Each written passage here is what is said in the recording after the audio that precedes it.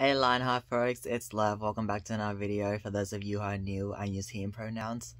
My hair is definitely growing out, even a little bit. It's been like a week since I got my hair cut, and it's growing out a little bit, but that's alright. Um, I don't think we're going into lockdown anytime soon, so if I need a haircut, I'll just go get one.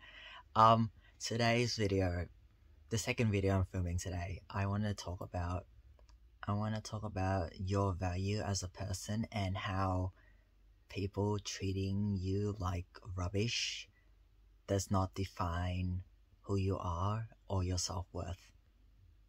Let's face it, we live in a world where judgment prevails. There's always judgment, prejudice, discrimination, bullying, harassment. You know, there's domestic violence that happens, family violence, people abusing other people just a lot of poor treatment from one person to another person. Of course, there's also relationship cheating. That's that's the thing that actually brought me to film this video. That I did that that too. That's also included in this treating treating people like rubbish category. I should also say that the list I said before is not an exhaustive list. There's like there's so many things and I cannot possibly cover everything or list everything as an example, so that's not an exhaustive list whatsoever. I guess specifically in this video, I'm referring to being cheated on. I should just title this video like for those of you who have been cheated on or something along those lines. I should. I'm going to do that. I'm going to do that. So the first thing I want to say is that it's not a reflection of who you are, but more so the person who cheated on you. Especially, I guess it's for me, it stings more because we had a very close emotional connection and bond, and there was a lot of trust between us. And then once the cheating happened, all of that went out the window, and I'm just it was like deep sense of betrayal and I learned something recently called post betrayal syndrome. You can look it up. It's very interesting and I think that's what I've been experiencing for the past however six months um since the whole thing happened. But yeah, it is not your fault and it's not a reflection of who you are or your self worth. Like like your self worth doesn't automatically go down or deteriorate or anything like that because you have been cheated on. Second thing is that it does sting. It stings very deeply, especially. Another thing about me is that I'm a highly sensitive person and I feel things emotionally and psychologically very, very deeply. And that's why healing for me has taken a while, and that's okay.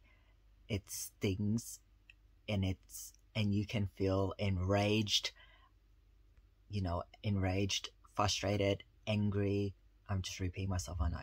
Irritated, sad, confused, all of these things. It's okay to feel all these things because, especially if it's, if it's someone you really trusted and if it's your first relationship, like me, boy, it stings like 10 times more because it's like, we were so good. What happened? Sort of thing. Well, that's what happened for me. But basically, it's okay to feel this emotion and it's okay to let it all out, and you don't have to pent it up or bottle all of it up. It's very human to feel this way, and it is okay to feel this way, and it is okay to express yourself in a way that you feel most comfortable with to help you process these emotions and what's actually going on. I touched on this in the first point, but it's not your fault, and the person, your partner, the person who cheated on you, chose to do so, even for whatever reason it might be. The person who cheated on you chose to cheat on you. It's a choice. And the consequences of the choice the person made does not lie in you. The thing is that you might be feeling like you're not good enough.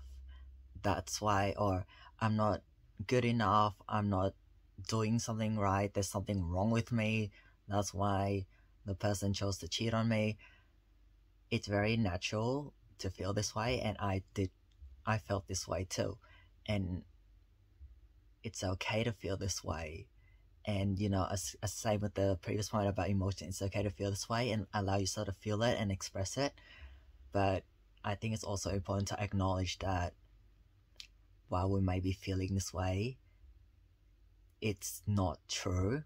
It's like we can feel something, but also recognize that this is not, this is not true. And what is truth and what I'm feeling are in conflict with each other. It's not a reflection of your self worth and your value as a person. If, for example, if the relationship was going downhill or the person, your partner felt like there was something lacking or that things wouldn't have worked out or something like that, a truthful and honest partner would talk to you about it and not cheat on you. Like they will talk to you about it and they'll probably lead to some mutual agreement to a split or something like that. That's yeah, and then after that they can do do whatever they can go do whatever they want. Like that's to me isn't cheating. But if the person just doesn't talk to you about it or talk to me about it and just decides to go off and do things with other another person, yeah, it's not a reflection of you or me. Also acknowledge that it can be very challenging to break out of the cycle of feeling like we're not good enough once when someone treats us like garbage, which will link to the point of what I made at the start of the video about how feeling people treating us like garbage doesn't dictate our self worth. So yeah, it's very, it can be challenging because if our brain is automatic, brain and nervous system is wired to think and feel that we are not good enough when someone treats us like garbage, it can be, it can be hard to truly believe that this does not dictate our self-worth and that, and that it's like a cycle we're stuck in. So if evidence has reinforced that, okay, someone treats me like garbage, I'm not good enough. That's why people treat me like garbage. I'm not good enough. That's why people treat me like garbage. It just goes like this non-stop if, I guess, for a portion or a large period of life or our entire life that this thing, this cycle has been reinforced by evidence that evidence through experiences, stories we've heard, things we've been told, whatever it might be, yeah, it can be hard to break out of the cycle because that's our normal. And breaking out of default normal and going against the grain is not easy. It's like trying to swim uphill, I mean, upstream when the river's going downstream full force, trying to swim in the opposite direction. That's what it's like. But it's not impossible and it takes work. Just put in a little bit of work every day start breaking the cycle and down the line i am confident very confident that you can break out of the cycle. And for me personally i don't recommend jumping straight into a new relationship. Um, after you've been cheated on or yeah this hurt that's lingering i don't recommend jumping into another relationship because as i mentioned earlier it's a distraction and doing things to distract us can I guess can be good in the short term because we don't have to deal with problems and sit with discomfort. Actually, that was that was in the other video. But the point I made in the other video is that the more the longer we run from it, I guess the stronger it'll come back and it will always come back to bite us. Like we cannot run from things forever and there will have to be a point in time where we have to confront it because it'll just catch up to us. We can't keep running forever.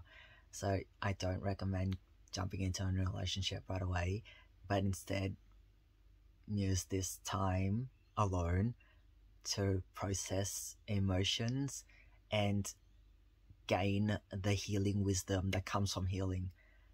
Because for me personally, if I jump immediately into a new relationship because I don't want to feel pain and I just want to rebound or whatever it is, it's great in the short term. I mean, I get this high and then I don't feel sad because all my happiness is coming from this other person that I've rebounding from, I will just feel shit in the long term. And once I'm alone and not with the person, or yeah, when I'm apart from the person, I'll just feel like absolute shit because I haven't healed from it properly and I haven't given myself enough time, time and space to heal from it properly without with minimal distraction. Another point is that you deserve to be treated better than that. I deserve to be treated better than this. It's like Shawn Mendes Shawn Mendes' song, like you can you deserve to be treated better than this. For me, I I see the act of cheating on your partner very to be very low. Um, it's very low and it's not it's not a good look. Also remember like it might be very natural also to question things and be like, what did I do to deserve this? I'm such a good person. Uh, I treat people so nicely, and all I get in return is being treated like absolute garbage, and the world is unfair and stuff like that. It's it can be very natural to start questioning too, and that's also okay.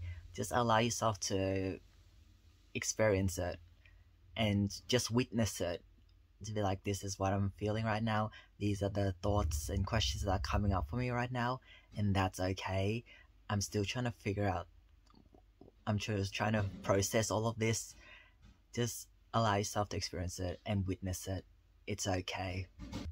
Another thing i've done that i found very helpful is to sort of flip the perspective like i didn't do anything to deserve this and i don't deserve this but it and it's shit. It's a shitty situation that's happened and it's out of my control. And the consequences of this person cheating on me cannot be undone. But what this incident has also helped me realize is that it's it's really solidified in my head that I do deserve to be treated better than this and that I'm not gonna settle for this and I'm not gonna I'm not okay with this. It's taught me that I'm not okay with this and I deserve to be treated better than this. And that this incident does not define who I am as a person and it does not define my self worth. And I also see this as an opportunity to become a better version of me. Like, shit, this shit has happened. This shit has happened to me and it's out of my control. But I'm taking this and using hurt, pain, anger, frustration, sadness, confusion.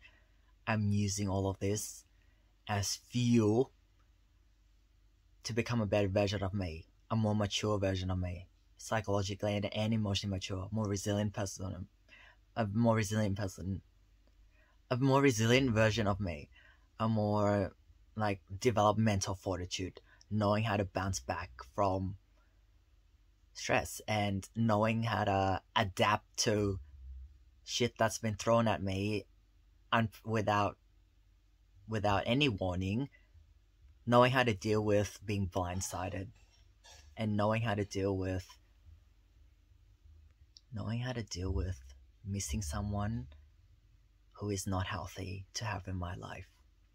Last thing I want to say is that there are people out there, even though you may um, you may not have these people in your life right now there are people out there who genuinely care who genuinely care about you and will treat you the way you treat other people.